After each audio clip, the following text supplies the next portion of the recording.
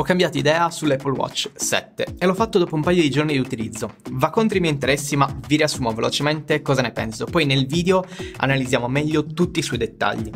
L'Apple Watch 7 è un ottimo aggiornamento. Naturalmente non stravolge nulla rispetto a un Serie 6 o un 5, ma sono state migliorate tante cose che oggettivamente lo rendono un prodotto migliore della precedente generazione. E così deve essere, non è un prodotto che stravolge ma migliora.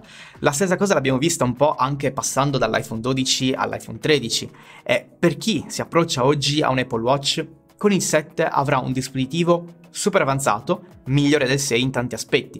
Chi oggi vuole comprare un nuovo Apple Watch o passa da, ad esempio, una vecchia generazione, da un 3 a un 4, con l'Apple Watch 7 ha la migliore versione possibile. Io provengo da un anno di utilizzo da, di un Apple Watch 6 e in realtà quando è stato presentato questo Apple Watch 7, questa nuova versione, pensavo che non avesse molto senso, non, non, mi aveva particolarmente entusiasmato, almeno dalle specifiche tecniche, un po' perché tutti noi ci aspettavamo un nuovo design con delle linee differenti e invece abbiamo oggi un Apple Watch che rimane dal punto di vista estetico piuttosto simile al passato. Queste però erano tutte le nostre aspettative, che erano fortemente influenzate da quello che i leak, i rumor e gli analisti ci dicevano da diverso tempo. Noi però oggi andiamo ad analizzare quello che abbiamo, quello che possiamo toccare con mano e quello che è arrivato sul mercato, non quello che avremmo potuto avere, o meglio quello che erano le indiscrezioni che ci dicevano online. E quello che abbiamo oggi non è poco. Ci sono stati tanti miglioramenti che ho apprezzato particolarmente nell'utilizzo di tutti i giorni, nell'utilizzo quotidiano. Iniziamo col vedere velocemente il design della cassa, che è uguale a quella dell'Apple Watch 6. Notiamo però una differenza nella colorazione nera, che non è completamente desaturata come sull'Apple Watch 6, ma su questo nuovo modello abbiamo una leggera tinta tendente al blu molto scuro, che però si nota sotto certe angolazioni di luce. E perfettamente si abbina all'iPhone iPhone 13 nella colorazione Midnight, questa colorazione mezzanotte. Le dimensioni della cassa aumentano leggermente e si passa dai 44 ai 45 mm, dimensioni che aumentano ma che non si notano tantissimo al polso, anzi direi che abbiamo praticamente lo stesso ingombro. Nonostante però le dimensioni aumentino, la compatibilità con i cinturini rimane invariata. Difatti sto utilizzando questo cinturino Apple sportivo di Nike e sul retro viene specificato ehm, che sia pensato questo qui per un Apple Watch 7. Difatti internamente leggiamo 45 mm, ma anche che sia perfettamente compatibile con gli altri Apple Watch. Stessa cosa possiamo fare anche al contrario, ovvero utilizzare i cinturini di un Apple Watch 6 o precedente sul 7 senza nessun problema, a patto che ovviamente si rimanga sempre o sul modello più grande o su quello più piccolo. Ma veniamo alla cosa forse più importante di questo Apple Watch 7, ovvero il display più grande. Sebbene questo millimetro in più, dai 44 ai 45 mm, non sembri rappresentare un grosso passo in avanti, in realtà il display integrato è molto più grande rispetto ai precedenti. Questo perché sono state ridotte sensibilmente le cornici laterali che rimangono sempre perfettamente simmetriche e grazie a tutto un nuovo vetro con una geometria particolare che riesce a mostrare i colori sul display che si vanno a curvare sui lati dello schermo.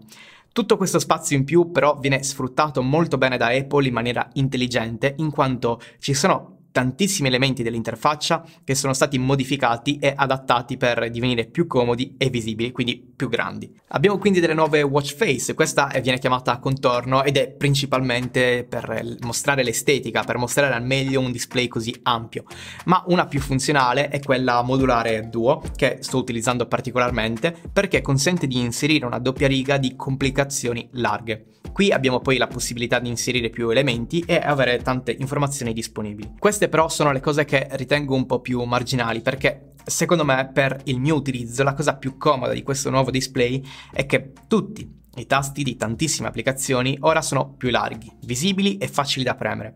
Io spesso tolgo l'orologio durante la giornata, magari per caricarlo o anche quando vado a correre, magari voglio cambiare il cinturino e pulirlo un po' meglio. Insomma, spesso lo tolgo dal polso, quando però lo indosso nuovamente devo inserire il codice di sblocco, Questo passaggio si può saltare se prima si utilizza l'iPhone, ma non sempre ho lo smartphone a portata di mano. Quando sono passato all'Apple Watch 7 ho notato subito quanto fosse più semplice con dei tasti più larghi, facili da premere. Stessa cosa però si applica un po' ovunque nell'applicazione della sveglia, della calcolatrice e di tutte quelle app che hanno dei tasti da premere. Con la sveglia in particolare, durante la notte attivare una determinata sveglia è facilissimo con dei tasti più grandi. Le differenze del display rispetto alla precedente generazione non si limitano soltanto a una grandezza più elevata, ma il pannello è migliorato poiché eh, quando abbiamo attivo l'always on display, ovvero quando non lo stiamo utilizzando attivamente e lo schermo rimane acceso per mostrarci l'orario, questo riesce a raggiungere una luminosità maggiore e quindi risulta più visibile. Cosa che torna molto utile per vedere meglio l'ora senza dover obbligatoriamente ruotare il polso. Poi a protezione di questo display abbiamo un vetro che è più grosso e resistente alle cadute. Questo miglioramento però non è dato da un materiale differente, ma da una particolare geometria che riesce ad attutire meglio gli urti. Il tutto viene fatto naturalmente mantenendo intatta la resistenza all'acqua, ma ora è stato certificato anche per una resistenza alla polvere, cosa che era assente dai precedenti modelli. Continuiamo però con le novità dell'Apple Watch 7 con il nuovo sistema di ricarica. Sistema di ricarica che sfrutta sempre una basetta wireless da posizionare sul retro, ma che ora grazie a questo nuovo cavo incluso in confezione connessione con una porta Type-C si riesce a ricaricare fino a un 33% più veloce, si passa dallo 0 al 100% in circa un'ora. Sembrano finezze, ma devo dire che questo aspetto ha ulteriormente cambiato il mio approccio all'utilizzo di un Apple Watch. Sappiamo un po' tutti che la batteria di uno smartwatch è quello che in tanti ritengono l'aspetto forse peggiore. Con l'Apple Watch io ho sempre fatto circa un giorno e mezzo con il tracciamento dell'attività sportiva e senza questa riuscivo a farne due. Io però utilizzo anche la notte l'Apple Watch, lo tengo sempre al polso perché non mi dà fastidio e voglio tracciare il modo in cui dormo.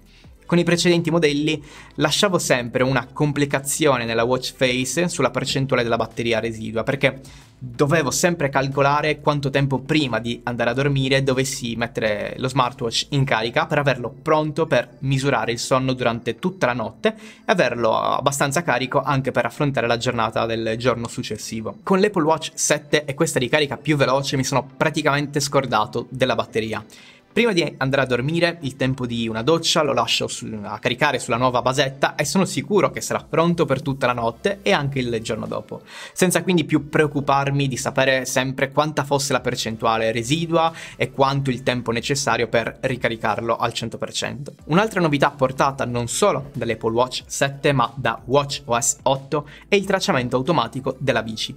Io cerco sempre di muovermi, di spostarmi sempre in bici, quando ovviamente il tempo lo, lo consente, però quando si usa la bici come mezzo di trasporto e non come attività sportiva, spesso mi dimentico di avviare il tracciamento, poiché eh, sono magari un po' di fretta o in ritardo. L'avere l'attivazione automatica della registrazione della bici è stato davvero comodissimo perché mi dimenticavo praticamente sempre, ma riuscivo a sapere quanto tempo ci mettessi per raggiungere la destinazione, quante calorie bruciate e tanti altri dettagli, proprio perché avevo questa attivazione automatica della registrazione. Insomma, non sottovalutate l'Apple Watch 7, che ha un display più grande, è più comodo e più semplice da leggere e utilizzare, una ricarica più veloce, più resistente agli urti e alla polvere. Praticamente ci sono tantissimi miglioramenti rispetto al 6. Ovviamente però non è destinato a chi possiede già un Apple Watch 6, rispetto a lui rimane invariata ad esempio la possibilità di fare un ECG, di misurare la saturazione dell'ossigeno nel sangue, quindi è ovvio che sia un miglioramento del 6, uno step evolutivo destinato però ai possessori magari di un Apple Watch 3, un 4, un 5 o magari a chi possiede un Apple Watch SE però vuole provare un modello più avanzato con l'Always On Display che ritengo una delle cose fondamentali da avere su uno smartwatch. Comunque, questo era tutto quello che vi volevo raccontare su questo Apple Watch 7. Come sempre noi ci vediamo a un prossimo video. Ciao a tutti.